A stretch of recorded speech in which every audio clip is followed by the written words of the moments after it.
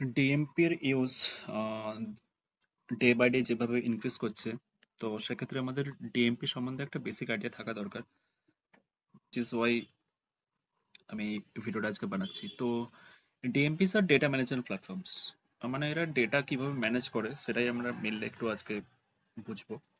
তো DMP mainly করে কি অ্যাকচুয়ালি ডেটা কালেক্ট করে বিভিন্ন রকম রিসোর্স থেকে যে ওয়াইড অ্যারে অফ সোর্সেস থেকে এরা ডেটা কালেক্ট করে, তারপর সেই ডেটাকে অর্গানাইজ করে, তারপর বিভিন্ন রকম এসএসপি বা ডিএসপি তে ইনজেক্ট করে ওই ডেটাটা যেখান থেকে আমরা ক্যাম্পেইনের জন্য জন্য আমরা ইউজ করতে পারি ডেটাটা রাইট তো এরা অ্যাকচুয়ালি যে ডেটা গুলো সেভ করে, আমরা যদি গুগল করে দেখতে পাবো যে যে ডেটা গুলো এরা সেভ করে লাইক কাস্টমার ডেটা মানে এরা বলছে যে কুকি কুকি আইডিসগুলো সেভ করে। মানে আপনার, আমরা যে মোবাইলটা ইউজ করছি বা ডেস্কটপ ইউজ করছি, তার আইডিটা ইউজ করছে মোবাইল আইডেন্টিফায়ার লাইক অ্যান্ড্রয়েড না, ওটা অ্যাপেল সেটা ওরা সেভ করে রাখে অ্যাপেল আইডি অ্যান্ড্রয়েড আইডি এগুলো।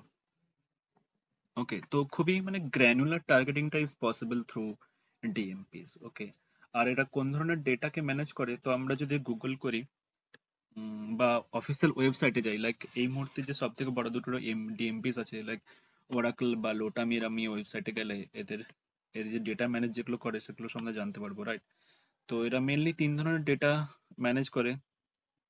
ইফ আই স্ক্রল ডাউন আমরা এখানে এরা এক্সপ্লেন করেছে যে তিন ধরনের ডেটা এরা ম্যানেজ করে। First party data second party data and third party data তো এই তিনটের মধ্যে কিন্তু থার্ড পার্টি ডেটার চাঙ্কটাই সব থেকে বেশি আমরা পাবো। First party data is like আমি লোটামিতে এসেছি, আমার ইনফরমেশন শেয়ার করেছি, তো আমি লোটামিটির জন্য first party data right same goes for Oracle বা বাকি ডিএমপিসগুলোর ক্ষেত্রে। ওকে তো এর পোর্শনটা অনেক কম থাকে। সেকেন্ড পার্টি ডেটাও অনেক কম হয়। লাইক সেকেন্ড পার্টি ডেটা হচ্ছে মানে কোনো পার্টিকুলার একটা ওয়েবসাইটের ডেটা ধরো আমি ইউজ করতে চাইছি পার্টিকুলার পার্সনের বাট ওটা ধরো ওই লোটামি সাথে পার্টনার বা অ্যাসোসিয়েটেড নয়। ওটা কোনো প্রাইভেট মার্কেট প্লেস থেকে আমি কিনেছি। তারপরে লোটামি থ্রু দিয়ে ডিএমপিতে নিয়ে আমি আমার ডিএসপি বা এসএসপিতে ইনজেক্ট করছি। ওটা হচ্ছে একটা সেকেন্ড পার্টি ডেটা রাইট আর তোমার third party data is like মানে লোটামি বলো বা ব্লু কাই বলো ওরাকেল এদের সাথে মানে পার্টনার হয়ে আছে আর কি। অ্যাসোসিয়েটেড এরা। লাইক ভিসা মাস্টার কার্ড এরা ওরাকেলের সাথে পার্টনার রাইট এরা ডেটা প্রোভাইড করে। তো এটারই চাঙ্ক সব থেকে বেশি থাকে। ম্যাক্সিমাম পোর্শনটা এদেরই থাকে, এই থার্ড পার্টি ডেটা এবং ম্যাক্সিমাম গ্র্যানুলার টার্গেটিং এর জন্যই আমরা ইউজ করি। এবং এটার ইউজ খুবই ডে বাই ডে বাড়তেই আছে। লেটস সে নেটফ্লিক্স এর একটা পার্টিকুলার ওয়েব সিরিজের ডেটা আমি মানে পার্টিকুলার কাস্টমারকে ওই ওয়েব সিরিজের কাস্টমারকে আমি টার্গেট করতে চাই। This not possible through FB ads Instagram বা বলো বা গুগলের যে আমরা জিডিএন ইউজ করছি বা গুগল সার্চ এগুলোর দ্বারা তো পসিবল নয় রাইট তো সেক্ষেত্রে আমাদের ডিএমপি ইউজ করতে পারি।